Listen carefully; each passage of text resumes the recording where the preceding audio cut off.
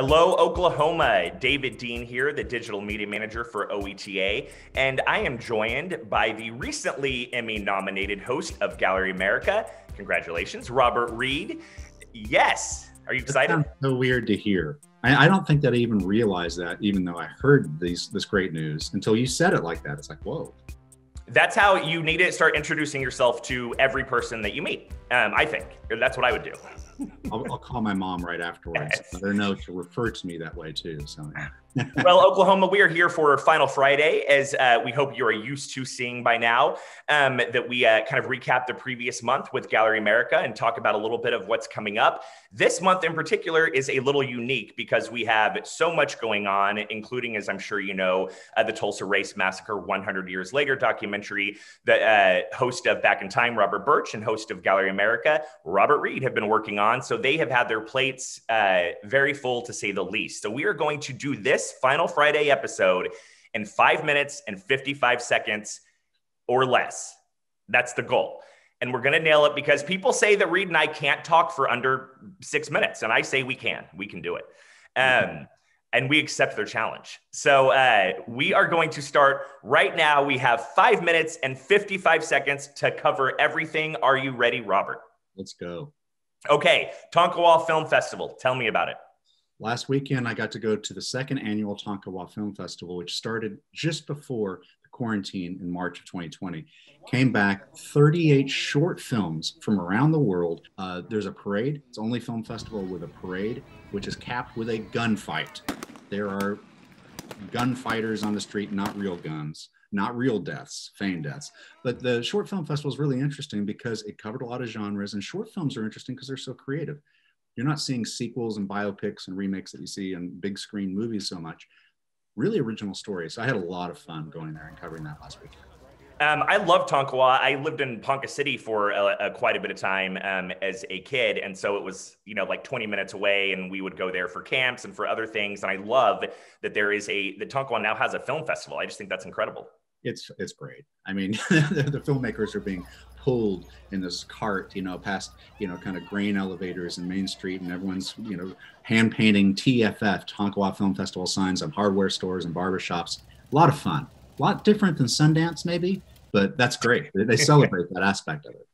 Well, speaking of films, um, I hear that you have been an extra in, I think there's a film shooting in Oklahoma by Martin Scorsese or something. I don't know what's going on with that. And are you in it? Are you starring in it? What's the scoop on DiCaprio? Tell me what you can. Not starring in it. I got to be an extra on uh, Killers of the Flower Moon. And massive production. Now you sign all kinds of waivers. You're not supposed to talk about what the scenes were or who you saw and things like that. Some extras are sneaking photos. You should not do that. You know, you can get removed from set. They're very protective about keeping everything kind of secret really until it's released, probably in late 2022. I can say this.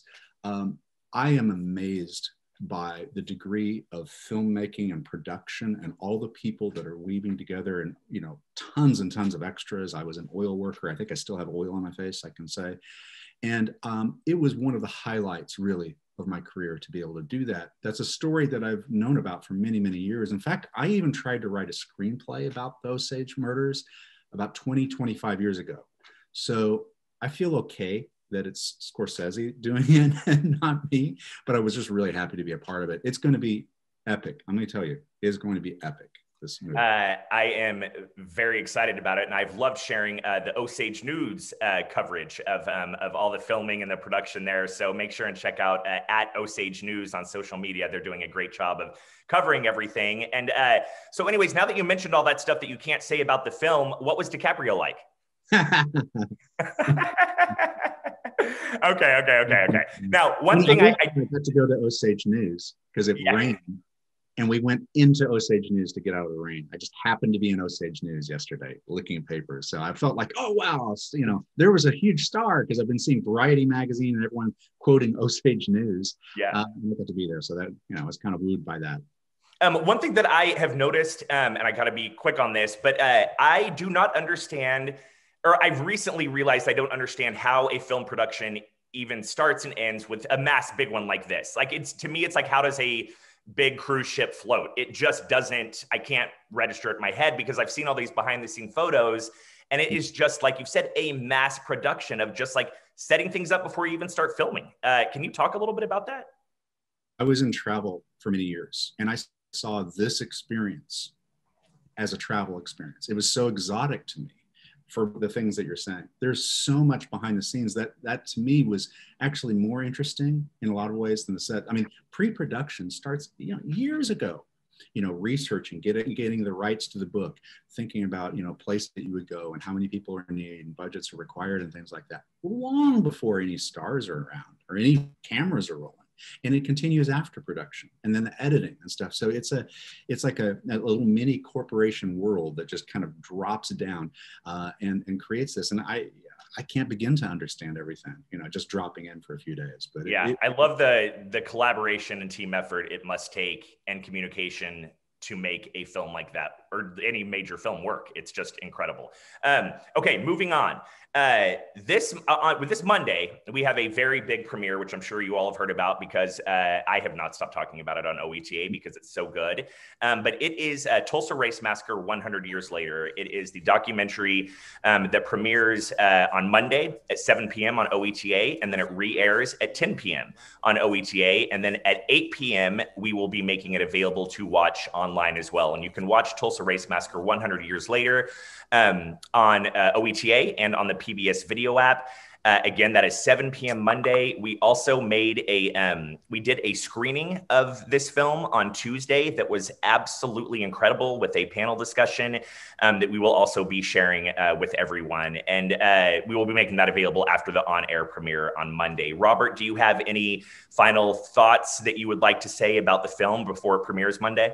One of the privileges and highlights of my career, without a doubt. The OETA hasn't really produced anything like it, and I can say, I believe safely, that of all the coverage, a lot of coverage of the Tulsa Race Massacre, I don't think you'll see anything quite like this. I really think everyone should watch this, mixing art, mixing music, mixing poetry with history, all blended together. I think it's quite a unique production. I'm very proud of it, without um, It is. Uh, I will have to say, I'm ex- extremely proud of it. Just working at OETA um, and knowing that we did this. I have seen the the film, the documentary, and I was a little curious how you would weave. And there's our 555. I was a little curious how we would how you would weave art and history together, and you did it so seamlessly.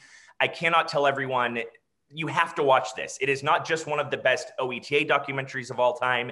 It is truly one of the best documentaries I have ever seen, told by Oklahomans where it took place. It's very important. Go to oeta.tv slash Tulsa Race Massacre for playlists, community screenings, additional information. Follow Gallery America on Instagram at OETA Gallery and on Twitter at Gallery OETA. Follow OETA at OETA Oklahoma. Robert Reid, we did it. We came in at about, I would say, six minutes, but it was pretty darn close. And I thank you for doing this Final Friday in a speedy way with me today. Next time, 10 minutes, 10 seconds. Uh, okay. And then after we can stay on and talk about the film for like an hour, uh, the Scorsese. Yeah, that, that sounds good. All right, sounds good. Uh, Robert, thank you so much. I know you're so busy. I appreciate taking the time. Everyone, also, I don't know if I mentioned this enough, but you can watch all previous episodes of Gallery America on oeta.tv slash Gallery America. So go there, catch up on episodes, including the Emmy nominated episode, um, Joe Slack, and the Emmy nominated nominated episode. What was the other one? Uh, Maps. Uh, There's another one that's on there. Uh, but watch all of them. They should all be Emmy nominated as far as I'm concerned. Robert, uh, thank you so much and have a great weekend. And I'll see you next Final Friday. Thank you, David. Oh, just making a call. Yeah, this is Emmy uh, nominated. Uh, yeah, we're just finishing the call now. Thank you so much, David. Yeah, see you later. I'll have my people call you your people. Bye bye.